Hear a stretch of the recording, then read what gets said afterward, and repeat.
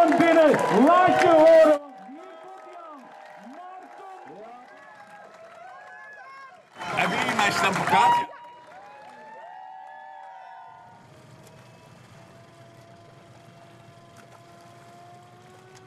Het kost energie. Uh, Maarten heeft vooral kracht in zijn armen en gebruikt zijn benen als een boei om uh, stabiel in het water te blijven liggen.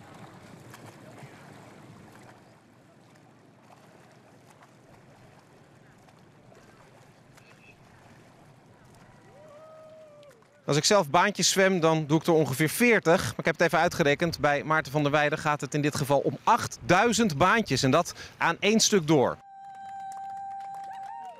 Hier onder de brug zometeen door. En dan gaan we hem zien. Ik heb vandaag mijn vrijgezellenfeest. Dus moet je in je Spiro langs de kant gaan staan? Of wilde je eigenlijk gaan zwemmen? Nou, ik, ik moest gaan zwemmen.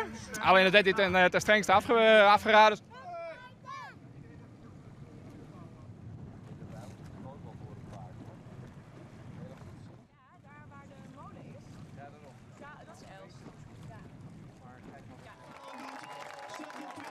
Eindelijk weer eens een Elfstedentocht ook, hè? Ja, leuk hè?